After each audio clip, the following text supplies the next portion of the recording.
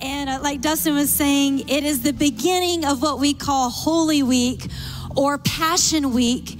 And the reason why it's called Passion Week is because of the great passion with which Jesus willingly went to the cross to give up his life for you and for me. What passion and what focus. And uh, so we just want to celebrate that today and lean into the story of Palm Sunday. And I think it's going to be a good day. Amen. Um, a couple of years ago, we were able to go to Israel, and uh, we talk about it a lot. The reason why we talk about it so much is because it was so impactful for us like seeing these places where jesus actually walked and and the all of these different sites. It was absolutely life changing a little commercial for our trip. If you want to go dustin and i our staff are going in november and we would love to have you go with us. It's amazing. Uh, but one of the places we were able to visit was actually this road where the triumphal entry happened. And what a powerful, powerful day that was. This is the road, and it looks so different from how I pictured it my whole life as a kid. You know, you picture it being kind of flat, and they're waving the branches, and then this is so steep literally, I'm such a dork, but I laughed the whole time because it was like either you walk fast or you fall flat on your face. You ever done a, a steep hill like that? You're like, oh my God, you know, but what an amazing, amazing thing to be in the place where Jesus rode into Jerusalem. Incredible. What was on his mind?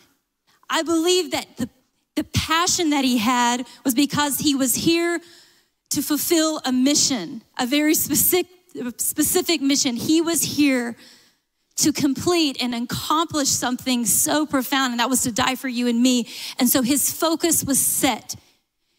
He was on mission. Just a couple of days before Palm Sunday, Jesus brings his disciples to the side and he's trying to warn them this is what is going to happen. And they still don't quite understand because we as humans, we're not super smart sometimes, or we don't have the discernment that maybe we should. And he's trying to warn them this next week is going to be heavy. This next week is going to be difficult. And so he's telling them what is about to happen in Matthew 28. Actually, no, Matthew 20. It says, Listen, we're going up to Jerusalem where the Son of Man will be betrayed to the leading priest and the teachers of religious law. They will sentence him to die. Then they will hand him over to the Romans to be mocked, flogged with the whip, and crucified.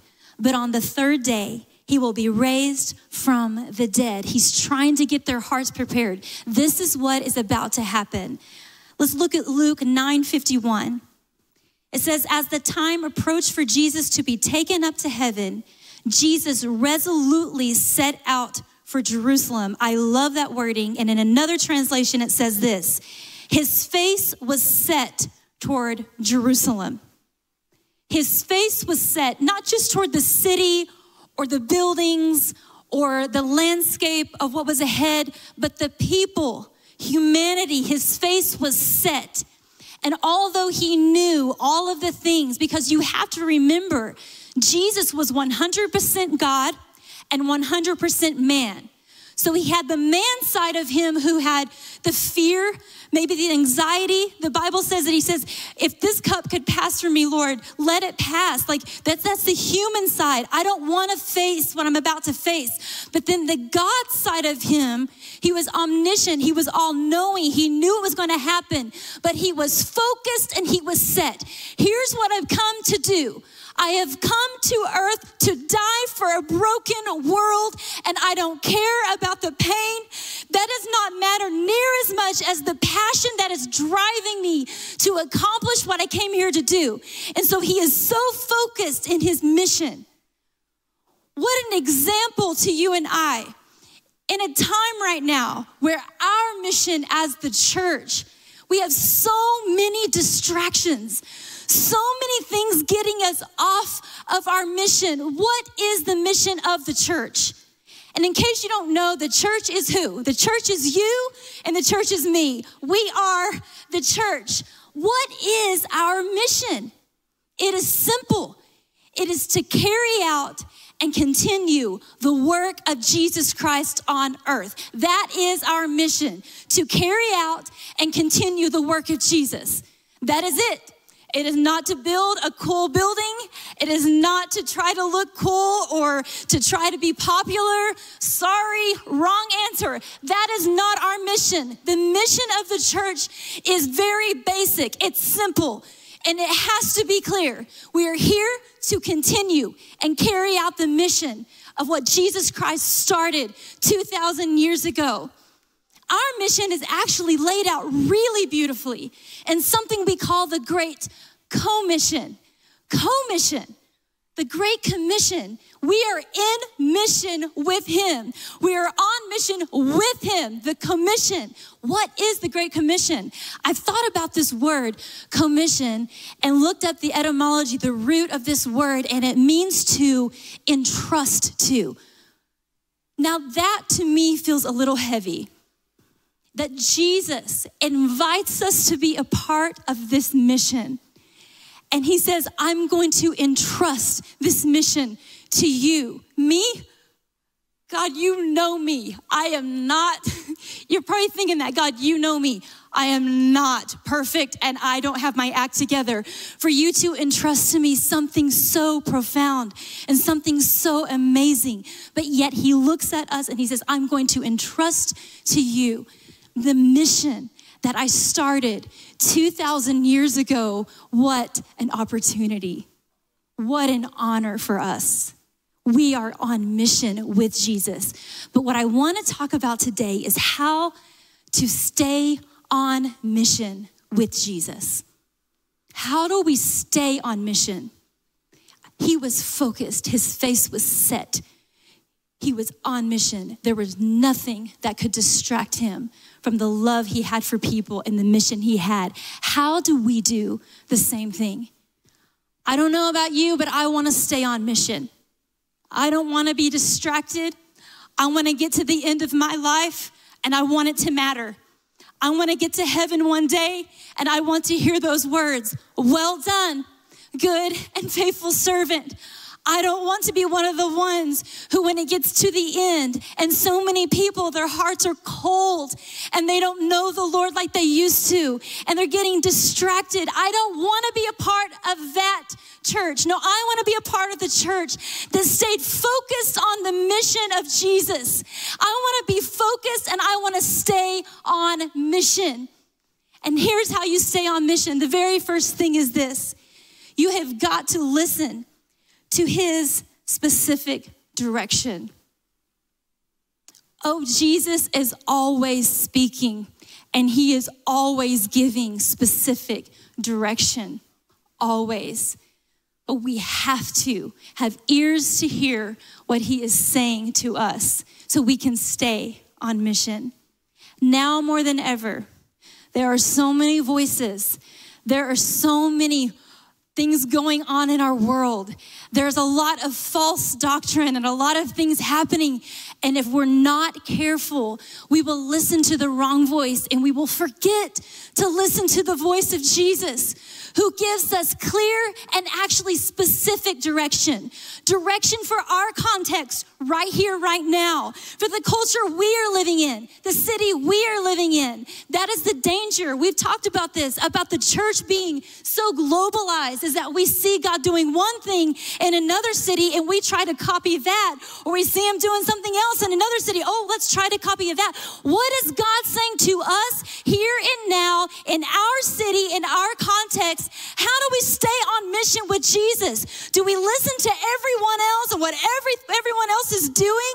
No, we have got to listen to the voice of Jesus as he gives us specific direction specific direction. On this day, Jesus does just that. He pulls two of his disciples out of the crowd and he gives them specific direction. Listen to this in verse one. As Jesus and the disciples approached Jerusalem, they came to the town of Bethphage on the Mount of Olives. Jesus sent two of them on ahead. Go into the village over there, he said. As soon as you enter it, you will see a donkey tied there with his colt beside it. Untie them and bring them to me. If anyone asks you, what you are doing. Just say, The Lord needs them, and He will immediately let you take them. What you have to see here is that Jesus told the disciples where to go, what to do, and what to say. That sounds pretty specific to me. Where to go, what to do, and what to say. Now, we live in a time when people do not like to be told what to do, where to go, or what to say. I want to follow you generally, Jesus. Let me be in the crowd and wave my palm branch. I'm good with the crowd. I'm okay. I'm cool with singing Hosanna, Hosanna. All that is fine. But if you try to draw me out of the crowd and you want to tell me something specific, where to go, what to do, and what to say, I'm out. I don't want you to touch something specific in my life. Leave me alone. But Jesus is telling you if you want to stay on mission with me, you've got to be willing to take specific direction. The Word of God, it doesn't just say, be holy. No, it lays it out. It tells you this is how you live a Christ honoring life. The Holy Spirit will actually touch specific parts of your life, parts that you want to hide, parts that you don't want anybody else to know about, that God wants to touch that part of your life. He says, Give it to me. If you want to stay on mission, I'm going to tell you what to do, what to say, and where to go. Are you okay with the specific direction from Jesus? If the church wants to be a church of impact, we have got to be okay with Him touching the parts of our lives that we want to keep to ourselves. It is time for us to listen to the voice of God. The next thing that we're gonna have to do is we're gonna have to keep our eyes on Jesus and off of the crowd. Eyes on Jesus, off of the crowd. Crowds are weird. Crowds will turn on you. Crowds are fickle. Do you love the word fickle? I remember the first time my mom said the word fickle, and I was like, that is the, I laughed and laughed as a little girl. Sorry, side note. I think it's a funny word. It is funny because people are weird, they're fickle. You can't count on a crowd. So if you have your eyes on the crowd, I'm telling you, they're gonna change their minds. You know, public opinion, it changes quickly too. I mean, when I was a kid, they had all the billboards, the Got Milk campaign. Anybody else remember this? And you've got like little cutie Michael J. Fox with his milk mustache saying Got Milk. You got anybody as old as me?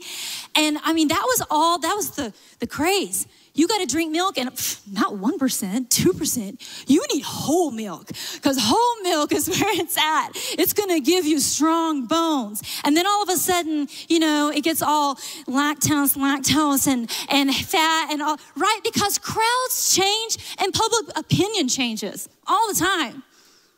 How about this one? Breakfast is the most important meal of the day. How many has ever heard that, right? Breakfast is the most important meal of the day, especially in the South. If you're going to have a test, you are going to have all of the things.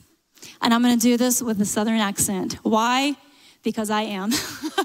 you have your eggs, bacon, toast, sausage. You have grits. Anybody know what grits is? Yeah, that's what you have when you're going to have a test. Why?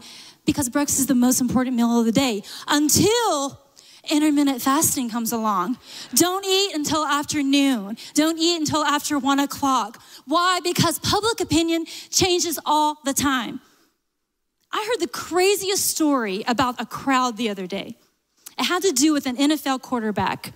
He's legit awesome. I won't say his name, but he's amazing. And he's not does not play for the Cowboys. different one. But they were winning, winning, winning, winning, winning. I mean, he was basically God in their streets. This guy's amazing. We're going all the way to the Super Bowl. And then they get to the playoffs and they lose one game. Not only do they turn on him, this guy actually gets death threats. I'm not kidding death threats for losing a football game. He has a beautiful wife little children, and you're gonna say, I'm going to kill you because you lost a football game. Crowds are crazy, and crowds cannot be counted on. Crowds change. I think the most dangerous thing is that crowds are mostly wrong. The majority is mostly wrong. That's scary. The majority is mostly wrong. Here's an example of that. Adolf Hitler was actually democratically voted in in 1932 into power in Germany to say, This is the man we want. We vote for him. And then he turns out to be an insane man who murders millions of people. Yeah, the crowd is mostly wrong. But here's something even more scary about the crowd is that sometimes the crowd gets it right. Sometimes the crowd gets it right. On this day, the crowd got it right. And when the crowd gets it right, the temptation grows to get our eyes off of Jesus and start looking, okay, I'm gonna look at the crowd because they got it right. And then we start looking at the crowd more than we look to Jesus. I'll prove to you that the crowd got it right Matthew 21, 8 through 11. A very large crowd spread their cloaks on the road, while others cut branches from the trees and spread them on the road. The crowds that went ahead of him and those that followed shouted, Hosanna to the Son of David. Blessed is he who comes in the name of the Lord. Hosanna in the highest heaven. And when Jesus entered Jerusalem, the whole city was stirred and asked, Who is this? And the crowds answered, This is Jesus, the prophet from Nazareth in Galilee. See, you can't be led by the majority, and you can't be led by the minority either. Why? Because they're people. People are wrong most of the time. We can't look to human beings. We have to look to Jesus. He is the leader of the mission. And if we look to other people, then we are going to be let down and disappointed a whole lot. And I want to speak to this specifically because I know there are some in this room that may follow church culture. And lately, the global church have seen some disappointments. And you may not know what I'm talking about, and that's fine. Don't even look into it, it's not worth it. But if you do know what I'm talking about, and you've seen that there have been maybe some TikTok, some um, documentaries, some articles that talk about some people really letting church leaders in the global church who have let us down. And I have found myself so disturbed and just grieving I have sat on my couch and cried like a baby. And not because I even know some of these people, but because I have felt really ashamed that the church of Jesus Christ have not carried his name well. Man, what a shame for us to, to not carry the name of Jesus well. But then a lot of people that I have set under their ministry, and, and it's not just church leaders, it's been politicians. There's been so many people who have failed us. And I know that. But church leaders specifically, you know, you, you look up to them and you think that they're going to always get it right. And then some of them haven't. And I just want to talk to you about that a little bit. And maybe, maybe you don't even know what I'm talking about. That's, that's fine. But I want to tell you a couple of things. First of all, God has always used flawed people. Always. That's just who he is. Why? Because human beings are flawed. They're not always going to get it right. I will fail you, Dustin will fail you. We're human beings, right? Human beings will fail you. God has always used flawed people. I was thinking about specifically, I feel like I'm saying that word a lot. I'm scared I'm gonna say it wrong. Specifically, um, I was thinking about David in the Bible and how he wrote these beautiful songs that we still sing today, prophetic music that we still sing today. There was a prophetic anointing on him to even um, prophesy about Jesus and the, the crucifixion and all that it entailed. What a powerful anointing that was on him. Yet David had failures in his life. He committed adultery. David he committed murder. Now, I'm not saying that that gives pastors and leaders or Christians a right to mess up a right to not live with integrity because I believe it should be the cry of our heart to be like Christ, to say, I'm not gonna always get it right, but man, am I gonna try. Every single day, I want my life to line up with what the Word of God says. So I'm not giving them an excuse, but I am saying don't be discouraged because God has always used flawed people. The second thing is something I heard a pastor say the other day. He said, if we removed all the flawed people from Scripture, then we would end up with a very thin Bible. Basically, it would be Jesus. And that's it. And shouldn't it be? Shouldn't it be Jesus? when it comes to our mentality eyes on Jesus and not on people. And if the failure of a, a, leader or a failure of a pastor has caused you to lose faith, can I encourage you to ask yourself the question if I lost faith over a man or woman of God that disappointed me, who was my faith in in the first place? My faith has to be in Jesus Christ. It has to be. That's why when we sing songs like Christ is my firm foundation, the rock on which I stand, when everything around me is shaken, I've never been more glad that I put my faith in Jesus.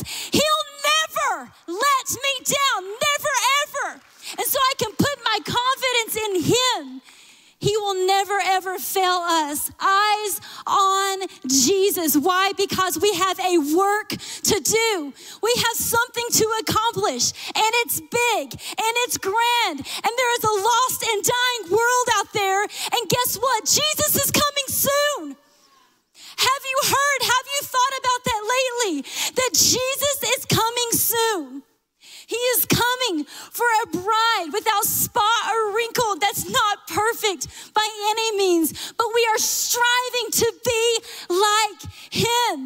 That's who He's coming for. So let us be found faithfully seeking Him, faithfully striving to be like Him, eyes on Jesus and off of the crowd. Get your eyes on Him. The next thing you have to do is you have to recognize that the mission is bigger than the moment. The mission of God is bigger than the moment that we're living in. Something to think about.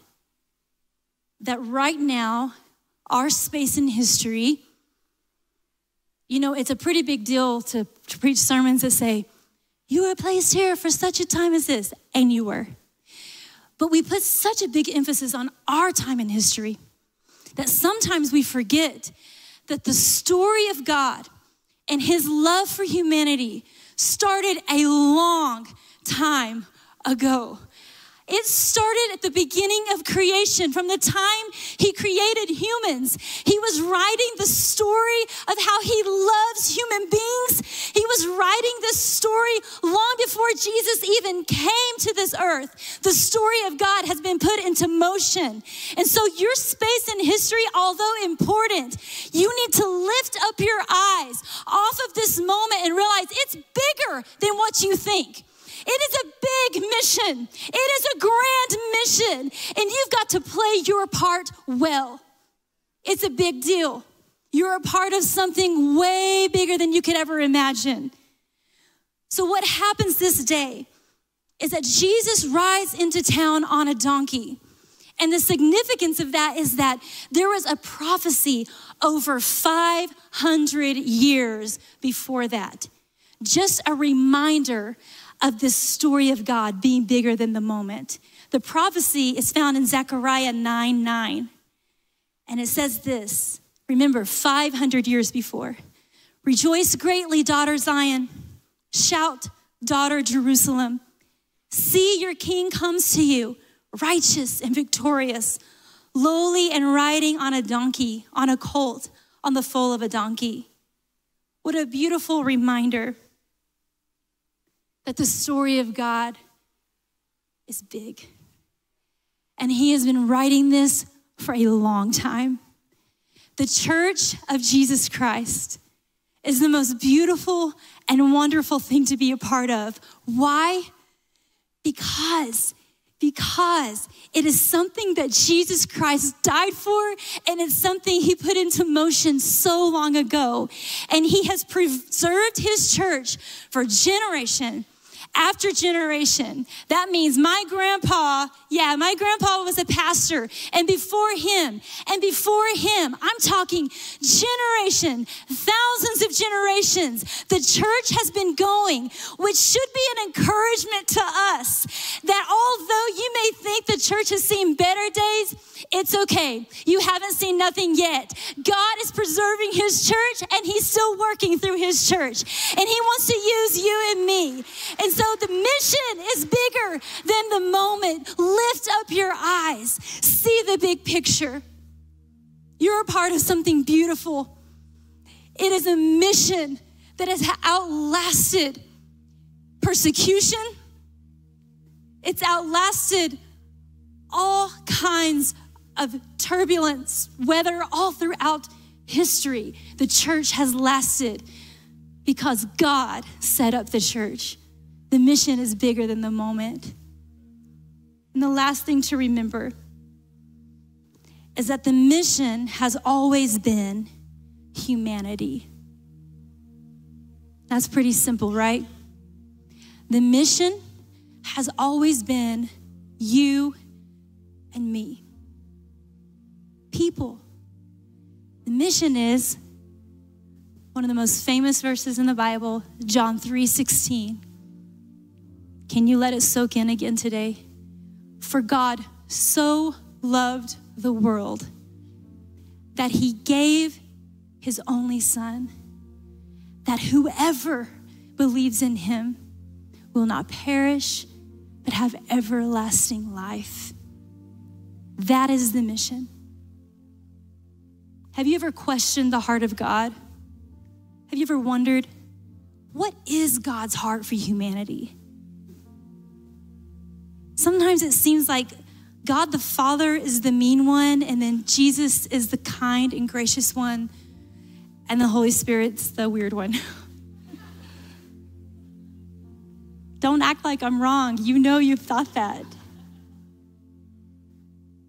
But I was thinking about this and wondering, like, God, what is your heart for human beings? And there's a verse in Colossians 1:15 that I have been meditating on for the past two or three weeks, and it says this that Christ is the visible image of the invisible God. Christ is the visible image of the invisible God. You want to know the heart of God? Look at the heart of Jesus, who rode into Jerusalem knowing the pain he would endure, knowing the people who would betray him, knowing the weight of my sin and your sin would crush him on a cross. And yet he keeps riding with focus. He keeps coming into Jerusalem with focus and with passion, heart steadfast on the mission. You want to know the heart of God? That's his heart for you.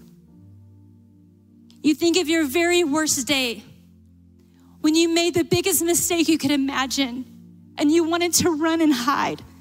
You were so ashamed of yourself because you thought, I can't believe I did that. I can't believe I made this big of a mistake. And yet, here comes Jesus on mission to rescue you. That is the heart of God. The heart of God is always running after you, always chasing after you.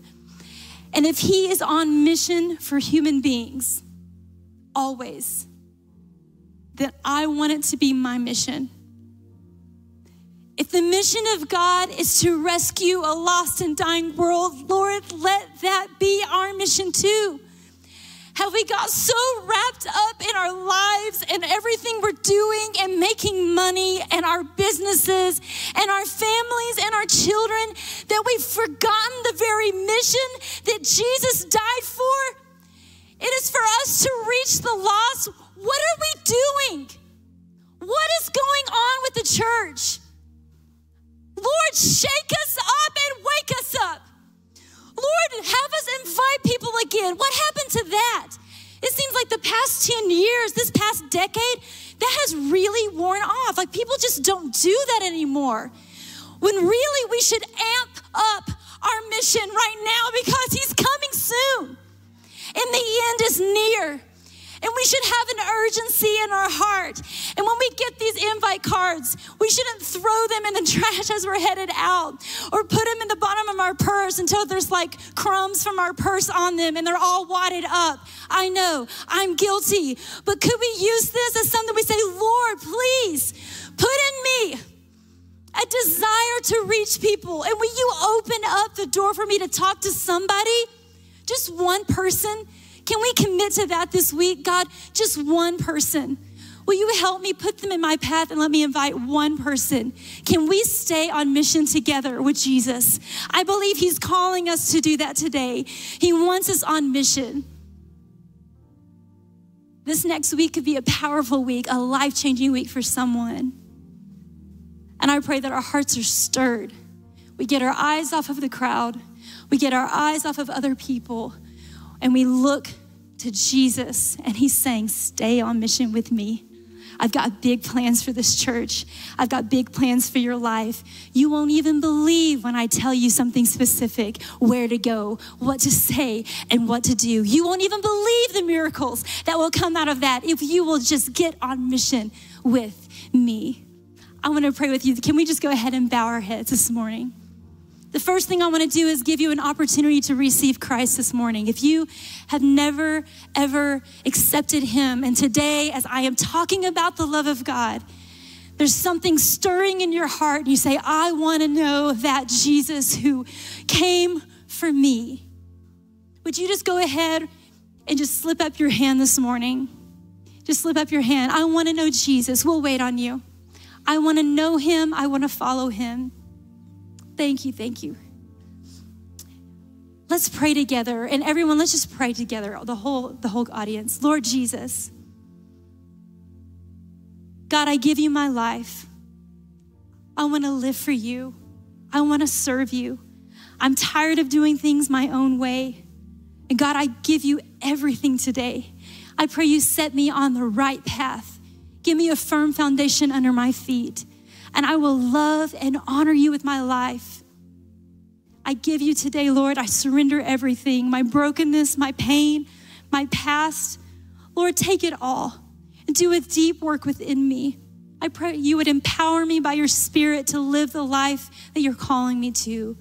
In Jesus' name, amen. And then the next group I would like to pray for is just every single person in this room. I would love to pray that we would all just stay on mission. Can we just stand for a moment? I just feel like doing that. Can we stand? Did you guys get invite cards this morning as you came in? I think so, right? If you have them on hand, would you go ahead and just hold them? This is not a commercial. This is like, this is a commission for you to just be the church this week and say, Lord, put someone in my path let me talk to someone. And I pray that this next week could be impactful for somebody because I was willing to obey.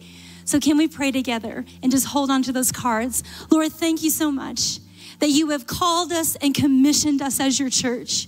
And Lord, I pray for every single person in this room.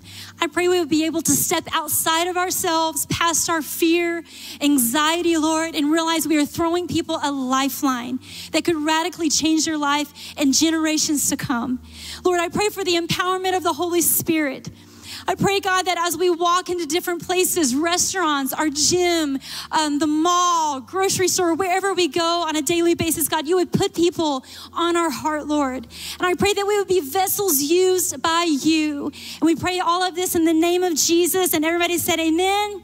Amen. Come on, give him praise this morning.